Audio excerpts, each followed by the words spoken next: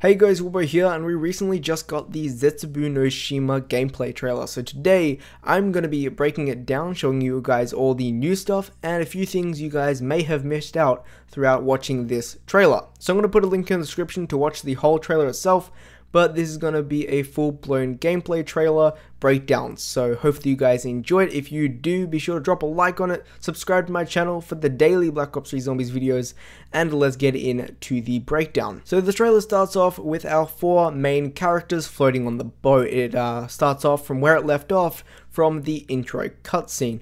Then we get a little bit of a glimpse of a few, you know, plants, looks pretty decent, and then we see the first kind of snippet of the map itself. We see a few buildings, a few plants, and that's pretty much it. We then see four pillars, it looks like a broken down temple with the Apothicon language on it. Uh, the Apothicon language is used by the, you know, keepers and stuff in like Shadows of Evil, so it's good that that's coming back to Zetsubou no Shima. So the next scene we get is of this lab and it looks like they are holding a few prisoners in there. Um, some people are saying there's a older Takeo in there or a former self Takeo. I don't know what it is so far, but it looks like you've got a decent amount of prisoners in there. We can also see a gun on the wall. I have no idea what gun it is from looking at it now, but it looks like a wall buy. And now we get our first glimpse of the brand new zombies. So they've changed up the zombies. In the Giant, you'd have the simple one kind of looking like a Nazi zombie. And in Zetsubou no Shima, we have this new one that looks like a swamp zombie. So it looks like he's climbing out of the swamp and uh, he's looking very much like a Shi No Numa type of zombie. And here you can see some more zombies. Now, if you look above its head, you will see a working zip line. Now, zip lines are coming back in Zetsubou no Shima, which is really good. It's going to be a new mode of transport for Black Ops 3 zombies. Personally, I think these zombies look really cool in Zetsubou no Shima. As uh, Jason Blundell said, it's going to be more of a darker, more scarier map like Mob of the Dead. So I like it how they're making the zombies look a little bit more scarier. And now we get our first glimpse of the four main characters. And as you can see, Takeo's in lead as because this DLC is centered around Takeo and it makes sense for him to be, uh, you know, showing the other three characters where to go and what to do. Now this scene here is very cool because you see that these little vines just open and electricity goes everywhere. Now I think this is one of the barriers you open. If you're into Eisendrache and you go up to a barrier to open, it is covered in like this blue 115. Maybe this is something similar when you go up to a barrier or a vine and it opens, electricity comes out. I have no idea, it just looks really cool. We then see some more scenes of a few zombies, and in this scene, if you look closely, we can see that the MX Garand is in DLC 2. Now I'm just going to put out here that I will be covering the weapons in this video. This is the MX Garand. You can get it in a supply drop in multiplayer, but it looks like it's going to be coming into zombies for DLC 2, which is really cool. Apparently it's a decently good weapon. I'm not a big multiplayer fan, but you know, at least they're adding new guns into zombies. Now in this frame you can see that there's Nikolai and Dempsey and they're behind something that looks like uh, a room you would come out of. Now you see this little green light. Now I'm thinking this is what happens when you turn the power on. You have a door that opens. Same with Der Eisendrache. If you turn the power on, you're allowed to go around the whole map uh, unless you actually have to buy barriers. So maybe it's the exact same as that, or maybe I'm wrong. That's just what I think personally. Now we get this little snippet of what looks to be a spider web. Now, there's cocoons if you can see and what looks like inside it may be either prisoners, maybe infected zombies or just zombies in general. We don't know what they are but they're cocoons and it looks like it has some type of human life form in it. We just see cocoons and we think it may be like some kind of human, but if you can see on the ground, there is these little blue glowing things on the ground. If you can see those, it looks like it is infested with 115. Element 115 is the, uh, you know, the thing they use to make the wonder weapons in Black Ops 3 Zombies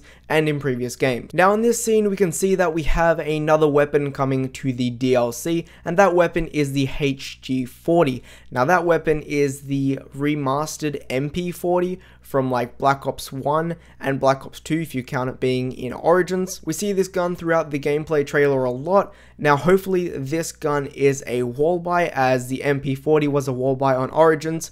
It was a wall buy on Kino der Toten in Black Ops 1. Hopefully when it's in Zetsubou no Shima, this weapon will be a wall buy as I want it to be a really good point hoarder. Now this scene is really interesting because you can see that there's a plant and it's grabbing zombies with its like claw or like stinger. And what I think of this at the start, it was just going to be a normal trap. We can go and hit it up if we're going to train. But now that I think of it, I think it's going to be something like in Der Eisendrache where you actually have to go and feed the dragon a soul. It's going to be the exact same, but maybe with plants. Maybe that's how we get the Wonder Weapon. We don't know.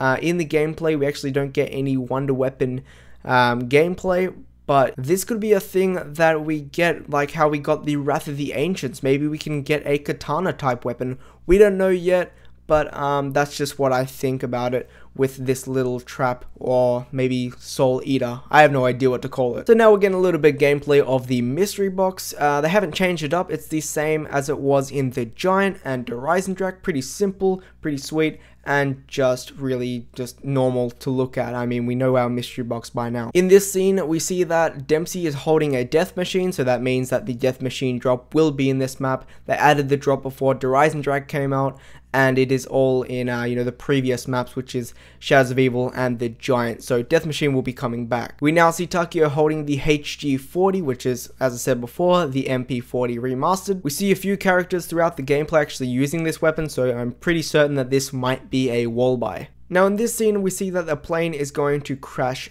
down. Now I think this is something to do with the easter egg as in Der Eisendrache we had to call down Dempsey, maybe we have to call down a plane, maybe we have to shoot a plane, but what we can see is a plane is about to crash land. And this thing I'm about to show you now is the brand new trap they're going to be adding to Zetsubou no Shima. So this trap is you probably go and activate it and it spins around like a propeller. As you can see, it looks like something you would get off a plane, and the propellers would spin around and chop zombies' heads off and mold them, and the zombies would just die. It looks amazing. I mean, just look at the gameplay. It just looks incredibly like, you know, disastrous. Looks like it's going to do a lot of work, and I would hate to actually walk under this because I'm pretty sure it's going to knock off my head too. So that's the trap, and now we can see that the monkey bombs will be returning. Now they were in the giant Der Eisendrache and uh, Zetsubou no Shima.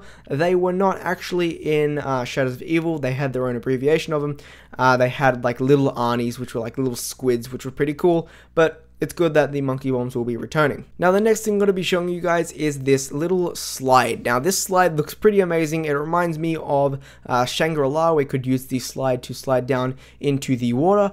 It looks like that. It looks pretty fun. I can't wait to actually go and slide down there. And this next scene actually shows you going underwater and that is right, we can actually swim underwater now in uh, Black Ops 3 Zombies. Uh, we've been getting a lot of speculation about it, and yes, it is confirmed we can actually swim underwater on this map. And we get our first glimpse of Juggernog, and the next thing I'm going to be showing you is another DLC weapon that will be coming into Zombies. And this weapon is called the Marshal 16 Shotgun Pistol. Now, it is akimbo in the gameplay, and as you can see, he shoots a zombie and it gets a drop, and that drop is a death machine, but if you keep looking closer, you can see that there's another one, and it looks like a pufferfish. Now, if you remember from Shadows of Evil or Der Eisendrache, if you were hit by a zombie by using Widow's Wine, they would drop these little spiders. Maybe this is something to do with a new perk on the map. In this scene, we can see that we're getting another trap, which is an aeroplane propeller. If zombies walk by it, they get sucked in and they get destroyed by this propeller. And finally, we get our first glimpse at the spiders. Now, the spiders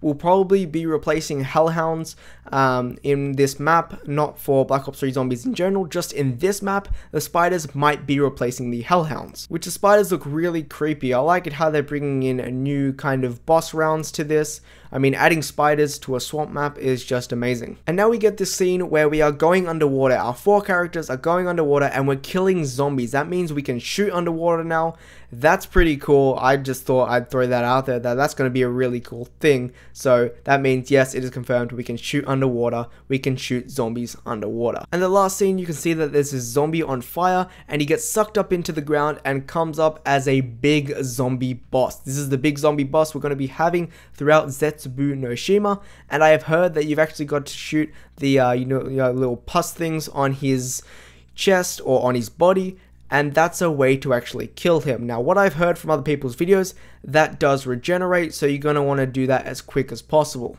But that is the trailer breakdown for the Black Ops 3 Zombies map, Zetsubou no Shima. Personally, I think this map is going to be amazing. I can't wait to cover it all, you know, do tips and tricks, tutorials, and live gameplays on my channel. So it's going to be amazing. It comes out in a week, so you don't want to miss out for that. Be sure to subscribe to my channel for all the Zetsubou no Shima gameplays, tips and tricks, and tutorials. I'll be covering as much things as possible, so you don't want to miss out for that. If you've enjoyed this video, be sure to smash a like on it. it shows you guys really support my videos. And that's pretty much it. I'll be seeing you in the next one. Peace out and goodbye.